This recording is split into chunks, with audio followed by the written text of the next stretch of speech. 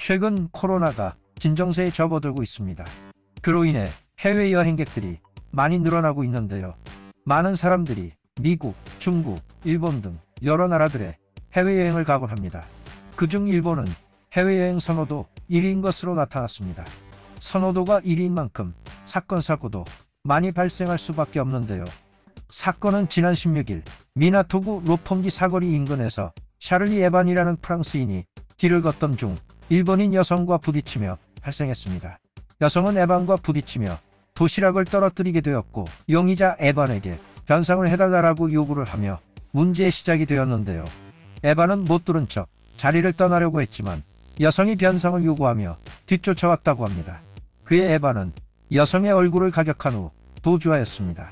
그로 인해 여성은 안면 타박상으로 전치 3주의 부상을 입게 되었습니다.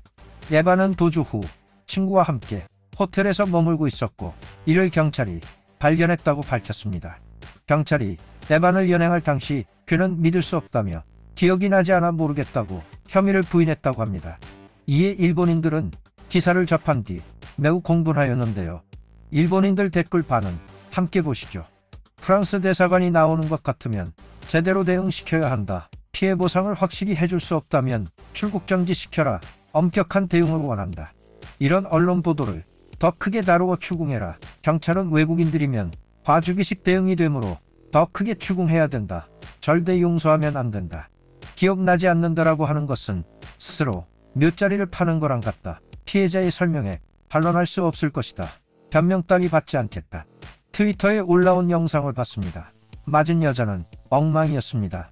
선 잡혀서 다행입니다. 이번 일이 아시아인의 인종차별에서 오는지 모르겠지만 저걸 보고 프랑스에 가고 싶지 않아졌습니다. 프랑스를 여행해보면 알지만 프랑스인이 아시아인에 대한 차별의식이 생각하는 것보다 훨씬 강하고 프랑스의 거리는 강탈 등이 놀랄 정도로 많다. 일본은 안전하지만 외국인이 일본에 오면 자신의 가치관으로 행동하기 때문에 이런 일이 늘어난다. 영상이 있어서 다행이다. 저걸 보고 인간은 평상시 자신이 행동하는 것보다 훨씬 동물적이고 폭력적인 덩어리구나 라고 생각이 든다. 나는 프랑스인이 되게 신사라고 생각했는데 아닌가 봐. 아시아인들이 외국인에게 변상을 하고 하면 안 되는 거야. 인종차별하는 것 같네. 믿을 수 없다. 나라 때문인지 성격 때문인지는 모르겠지만 무서운 사람이다. 이젠 걷는 것도 조심스럽게 걸어야 될 정도로 나쁜 세상이 되었다. 프랑스에서 1년 살아봤는데 아시아에 대한 차별이 엄청나다. 나는 프랑스가 유럽에서 최악이라고 생각해. 델탑, 루브르 박물관도 좋지만 일본 사람들은 차별받고 있다는 걸 인식해야 돼. 파리에서 태블릿을 빼앗긴 일본인이 태블릿을 되찾으려다가 복부를 찔린 사건이 있었던 것처럼 외국인을 일본의 고정관념으로 친절히 대하면 피해만 본다는 걸 알아야 된다. 한창 여행 시즌인 만큼 이번 사건이 충격적일 수밖에 없는데요. 사소한 문제에서 이런 폭행까지의 일이 벌어지게 되어 매우 유감입니다.